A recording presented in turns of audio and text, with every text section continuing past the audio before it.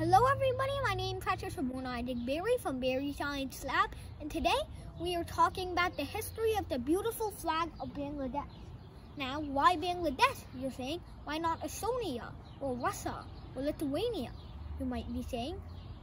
Well, that's because my parents were born in Bangladesh and that's why I love it so much.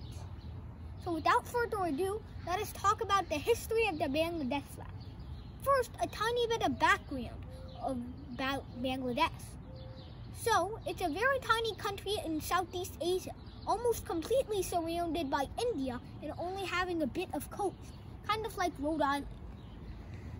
So, Bangladesh, Bangladesh's founding father is Bangabandhu. Now, let's talk about its flag.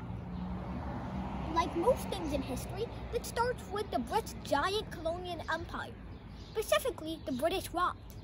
The British Raj, or British India alternatively, contained the territories of present-day Burma, Pakistan, and most importantly, Bangladesh. When British Raj was partitioned around 1947, then Pakistan, what was Pakistan, would be owning Bangladesh.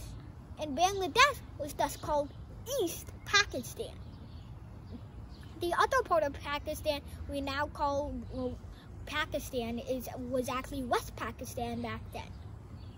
So, because of Operation Searchlight, which was an oppression or a Bangladeshi genocide of uh, people who wanted independence in Bangladesh, now Bangladesh or East Pakistan declared formally declared war on West Pakistan. So most of the Bengali forces decided to join Bangladesh's cause. And, and thus Bangladesh won the war with a little bit of support from India. India even formally declared war on Pakistan. During the war, a different flag was flown from the one you see. Actually, it wasn't much different. It actually just had an orange silhouette inside this red circle over here. An orange silhouette of what, you may ask? Well, an orange silhouette of Bangladesh's map. That's so. Now, after the war, the Bangladesh silhouette was removed and wiped, and that led us to the beautiful flag that we have over here today. Now, you may ask, what are the meanings? Why green and red? Why is it so simple?